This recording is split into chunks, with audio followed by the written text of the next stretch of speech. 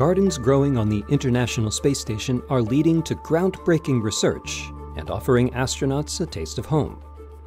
Establishing fresh, reliable, and renewable food sources in space is paramount for future long-duration missions to the Moon, Mars, and beyond. Astronauts on station grow plants in unique facilities. A low-powered gardening chamber called Veggie is equipped with adjustable lighting for experimentation. Each plant grows in a pillow filled with a clay-based growth media and fertilizer. The crew routinely looks after the plants and waters them by hand. Tending to plants helps astronauts counter isolation and bolsters mental well-being in space. The X-Root system, which is integrated with the Veggie facility, uses hydroponic and aeroponic techniques to grow plants without soil or other growth media.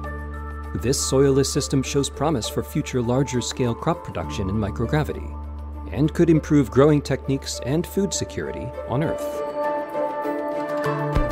Another facility, the Advanced Plant Habitat, is enclosed and automated.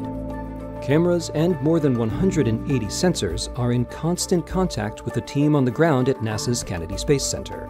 This allows researchers to help control the experiment, freeing the crew's time to perform other tasks.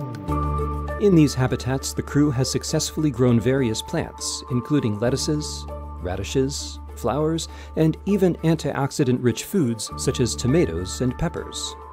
While some plants are consumed by the astronauts, others are sent back to Earth for analysis.